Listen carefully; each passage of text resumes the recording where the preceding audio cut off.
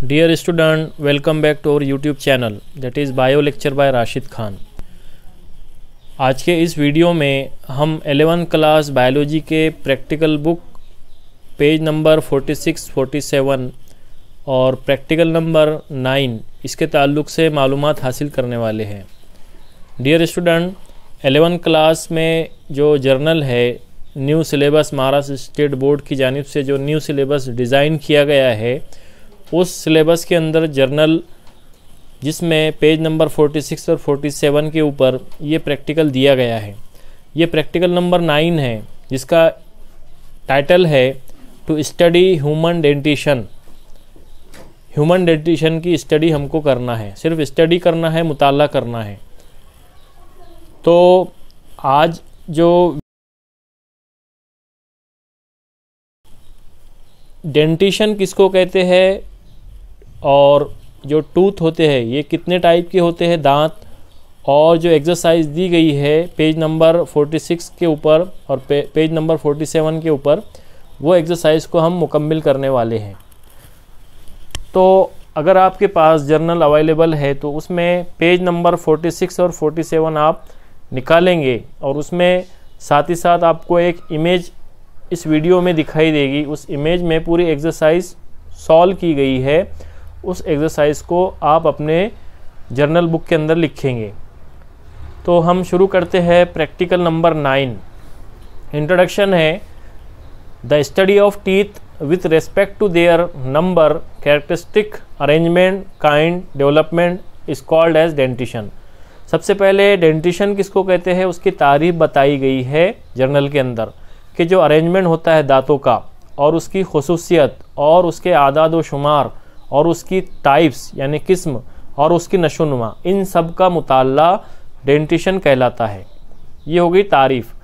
अब यहाँ पे देखिए human being has heterodont kind of teeth there are four kind of teeth अब ये पॉइंट में यहाँ पे इसको अंडरलाइन करना है human being has heterodont kind of teeth मतलब ह्यूमन बीइंग के अंदर हेटेरोडॉन टाइप के टीथ रहेंगे हेटेरोडॉन किसको कहते हैं? हेटरो का मतलब होता है मुख्तलिफ़, अलहदा अलग अलग डिफरेंट तो दो डिफरेंट जॉस के अंदर, दो अलग अलग जबड़ों के अंदर दांतों की जो टाइप है, ये पाई जाती है। इसलिए इसको हेटेरोडोंट कहा जाता है। There are four kinds of teeth चार टाइप या चार किस्म दांतों की होती है। उसमें सबसे पहला इंसीजर दूसरा केनाइन तीसरा प्रीमोलर्स और चौथा मोलर्स ये चार टाइप दांतों की होती है। आगे देखिए human adult has the following dental formula two dot one dot two dot three ये human dent human dental formula है। इंसानी दांतों का जबता दो, एक, दो और तीन। यहाँ पे जो दांतों की टाइप है, उस टाइप के मुताबिक यहाँ पे नंबर दिए गए हैं। मिसाल के तौर पर इंसीजर है तो दो नंबर में है, उसके बाद कैनाइन है, एक नंबर उसके बाद फिर प्रीमोलर्स है, दो नंबर में, और मोलर्स है, तीन नंबर में। उसके मुताबिक ये जबता अखज़ किया गया है। The total number of teeth in adult human is thirty two एक बालिग इंसान में दांतों की तादाद बत्तीस होती है थर्टी टू होती है। The teeth helps in mastication of the food into small particle and mixing with saliva. दांतों का ये काम होता है कि उसको जो गज़ाई मादे होते हैं, उनको बारीक मेस्टिकेट करना और फ़ूड को जो सलाइवा होता है सलाइवरी ग्लैंड के ज़रिए से जो खारिज होता है मुँह के अंदर, उस बारीक ज़र्रात को, गज़ा के बारीक ज़र्रात को सलाइवा के साथ मिक्स करना, उसको मिलाना। ये दांतों का काम होता है। Each tooth is made up of root and crown अब यहाँ पे स्ट्रक्चर दिया हुआ है दांत का कि हर जो दांत ये बना हुआ रहेगा, एक रूट यहाँ पे लेबल किया हुआ रहेगा और क्राउन दो पार्ट रहते हैं दांतों के, जिसको हम रूट जड़ का जो है तो हिस्सा कहते हैं और एक क्राउन जिसको हम ताज कहते हैं, ताज crown the crown is covered with an enamel अब यहाँ पे जो क्राउन के अतराफ में जो ग्लाफ रहेगा या वो जिस चीज़ से ढका हुआ रहेगा, उस सब्सटेंस को, उस मादे को इनेमल कहते हैं। The body of the tooth is made up of dentine और दांतों की जो बॉडी रहेगी द बॉडी ऑफ़ टूथ दांतों की जो बॉडी रहेगी, ये एक सब्सटेंस से बनी रहेगी, जिसको हम डेंटाइन के नाम से जानते हैं। Beneath which lies the central cavity containing blood vessels, nerve and pulp pulp ये तीन हिस्से इसके अंदर रहेगी कैविटी के अंदर, दांतों के अंदर। डेंटाइन के अंदरूनी हिस्से में जो तीन हिस्से रहेंगे कैविटी के अंदर ब्लड वेसल्स रहेंगे खून की जो नसीजें रहेगी बारीक बारीक ये भी इसके अंदर रहेगी। उसके बाद नर्व्स आसाब रहेंगे अलग अलग उसके बाद पल्प रहेगा। तो ये हो गया इंट्रोडक्शन हमारे प्रैक्टिकल नंबर नाइन का। अब यहाँ पे एम दिया हुआ है एम मकसद। प्रैक्टिकल का मकसद है to study the dentition of man हमने डेंटिशन की तारीफ़ देखे है कि डेंटिशन जो रहेगा अरेंजमेंट रहेगा दांतों का टूथ टीथ का अरेंजमेंट रहेगा, उसकी खसूसियत रहेगी, दांतों की टाइप रहेगी और दांतों का, दांतों की नशोनुमा। ये जितना भी स्टडी किया जाएगा, वो एक ब्रांच के अंदर स्टडी किया जाएगा डेंटिशन के अंदर। मटेरियल क्या क्या रिक्वायर्ड है, देखो हमको प्रैक्टिकल के लिए। ह्यूमन टीथ सबसे पहले दांत चाहिए इंसानों के। तो दांत हमको निकाल के स्टडी नहीं करना है, बल्कि experiment to be perform in partnership between two students दो स्टूडेंट के दरमियान या घर में मौजूद बालिग दो अफराद के दरमियान हमको दांतों का ऑब्जर्वेशन करना है with respect to its type ठीक है? मेथड है इसका study the teeth of your partner and write down the observation दो अफराद अगर है तो दोनों भी एक दूसरे के दांतों का मुताला करेंगे और उनका ऑब्जर्वेशन जो है तो लिखेंगे प्रैक्टिकल के अंदर। अब जो ऑब्जर्वेशन लिखना है, आपको देखो हेडिंग दी गई है। इमेज में आपको दिखाई दिया दे रहा है कि पेज नंबर 46 के ऊपर ऑब्जर्वेशन दिया है। उसमें आपको खाली जगह में ये इमेज में से देखकर आपको लिखना है। सबसे पहला ऑब्जर्वेशन लिखना है आपको किसी दूसरे अफराद के दांतों का मुताला करते हुए human dentition is heterodont heterodont that is shows four different types of teeth इंसानी दांतों के अंदर चार अलग अलग किस्म के दांत मौजूद रहेंगे। इसलिए उसको हम हेटेरोडोंट कहते हैं। इसलिए हम उसको हेटेरोडोंट कहते हैं।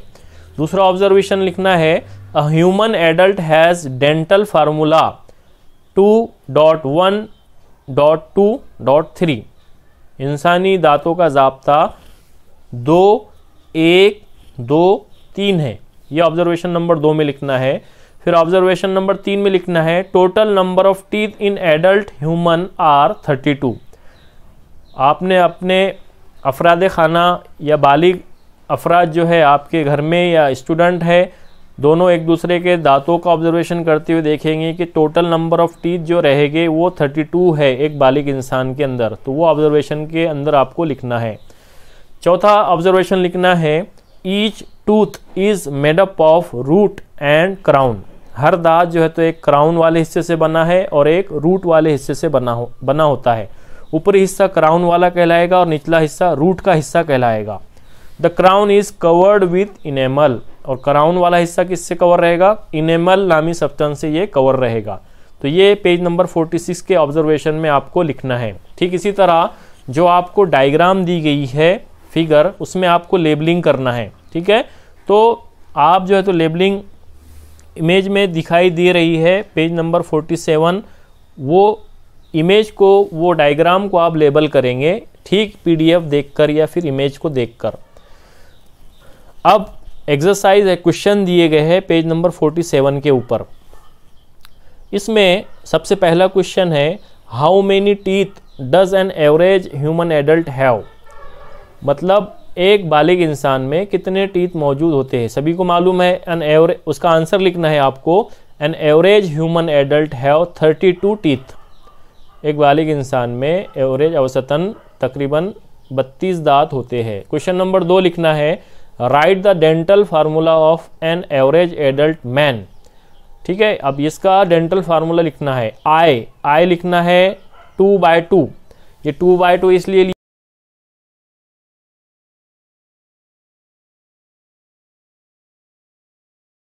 दो जबड़ों में से पहला जबड़ा होता है, उसके अंदर दो इंसीजर होते हैं। आई रिप्रेजेंट एज इंसीजर और निचले जबड़े में दो होते हैं, इसलिए two by two incisor is equal to two by two comma C is equal to one by one ठीक है? C for canine C represent for canine one by one एक ऊपर के जबड़े में कैनाइन रहेगा और एक नीचे के जबड़े में केनाइन मौजूद रहेगा comma P M P M means premolars two by two दो प्री मोलर्स रहेंगे टू बाय टू इसी तरह molars molars is equal to three by three. तो ये हो जाएगा is equal to two dot one dot two dot three. Divided by, या नीचे लिख सकते हैं उसको, two dot one dot two dot three. तो ये पूरा जो जबता निकलेगा, ये निकलेगा डेंटल फार्मूला रहेगा एवरेज एडल्ट मैन का। क्वेश्चन नंबर तीन लिखना है आपको what is the meaning of the terms diphyodont diphyodont किसको कहते हैं? ये इसकी तारीफ़ आपको लिखना है। तो लिखिए इसमें in our life time we get only two sets of teeth milk and permanent teeth this is called as diphyodont मतलब यहाँ पे पूरे ज़िंदगी के अरसे हयात में, ठीक है, या वक्फ़े हयात में इंसान को दो सेट्स, दांतों के दो सेट मिलते हैं। एक परमानेंट टीथ होते हैं और एक दूध के दांत जिसको कहते हैं मिल्क टीथ वो होते हैं। मिल्क टीथ के गिरने के बाद परमानेंट टीथ इंसान के अंदर आते हैं, इसलिए उसको हम कहते हैं डायफाइडोंट अब यहाँ पे तीन टर्म्स आपको याद रखना है। एक टर्म्स रखना है आपको हेटेरोडोंट क्योंकि हेटेरोडोंट मैंने बताया है पहले कि चार मुख्तलिफ़ किस्म दांतों की पाई जाती है, इसलिए उसको हेटेरोडोंट कहते हैं। डायफाइडोंट डायफाइडोंट किसको कहा जाता है कि दो सेट्स ऑफ़ टीथ पाए जाते हैं इंसान की ज़िंदगी में milk teeth and permanent teeth इसलिए उसको डायफाइडोंट कहते हैं। और एक टर्म्स है हमारे पास, थिकोडेंट। थिकोडेंट कहते हैं दो अलग अलग जबड़ों में दांत इंसानों के मौजूद रहते हैं। तो इस तरह से हेटेरोडोंट थिकोडोंट और डायफाइडोंट, ये डेंटिशन से रिलेटेड टर्म्स है इस्तेला है आपको ये याद रखना है। अब पेज नंबर 47 पे डायग्राम दी गई है एरो मार्क्स बताकर आपको इस इमेज की तरह आपको लेबलिंग करना है। सबसे पहले आप बताएँगे इंसीजर उसके बाद बताएँगे मोलर्स फिर उसके बाद मोलर्स सेकंड फिर प्रीमोलर प्रीमोलर सेकंड और कैनाइन इस तरह इधर से राइट साइड में ओरोफेरिंग्स और टंग आपको लेबलिंग करना है। तो ये इमेज में देखकर आप डायग्राम को जर्नल के अंदर लेबल करेंगे।